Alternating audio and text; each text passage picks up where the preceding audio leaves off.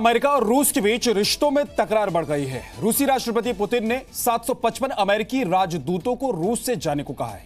Putin ने कहा है कि फ़िलहाल रूस अमेरिका के रिश्तों में किसी सुधार की गुंजाइश नहीं है।